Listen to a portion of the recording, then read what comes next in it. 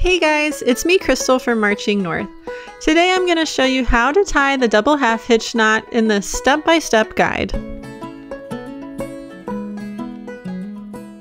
First we're going to look at horizontal double half hitch knots going from left to right. So this first cord will be your filler cord and you hold it horizontally like this and then you'll take the next cord and you're going to wrap it up in front and then down behind the filler cord like this. You're going to bring it through that loop and then you're just going to tighten this first hitch up. This is your first half hitch of your double half hitch. Then you're going to take the same cord and you're going to wrap it up and over again. And I like to stick my finger there just to kind of catch the cord. So you wrap it up and then you bring it down behind the filler cord and you pull it through that loop again. It's going to look just like that before you tighten it and then just tighten it up carefully and try to keep it as even as you can. Sometimes the first one has to be adjusted a little bit. Then you're going to do the same thing with the next working cord. Bring it up in front of and then down behind the filler cord. There's the first half of the second knot and then just repeat that again for the second half of the double half hitch knot. You're just going to continue that with each of the working cords all the way across. It's helpful if you remember that you're going around the filler cord with the working cord and not that you're just tying a regular knot with the two cords.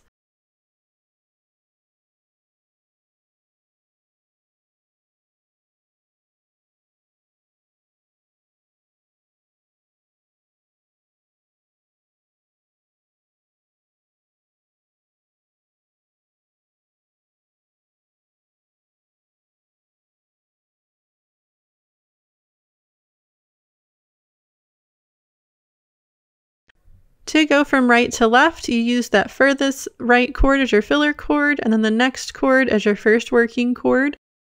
And I'm going to do the same thing I did before, but in reverse. So just bring it up and around, and then it's going to go through the loop over on the right side instead of on the left side like before. It's exactly the same, just reversed.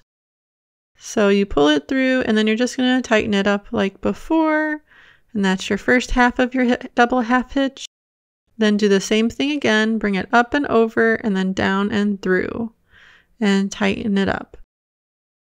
You're just going to repeat that exactly the same with each cord going all the way to the left or however far you need to go.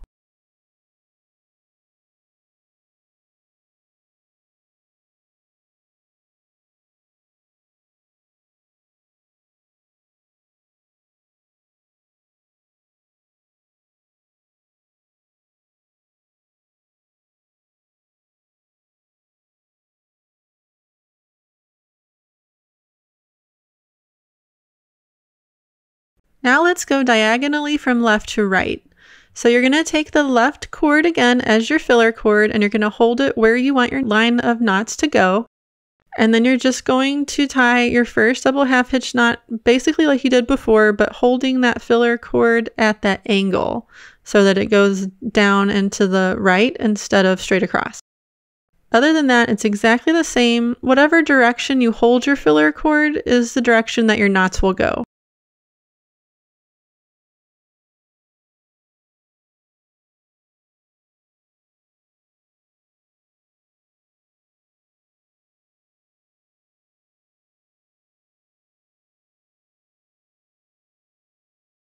You can always switch directions if you've been tying diagonal double half hitch knots down into the right like I was here.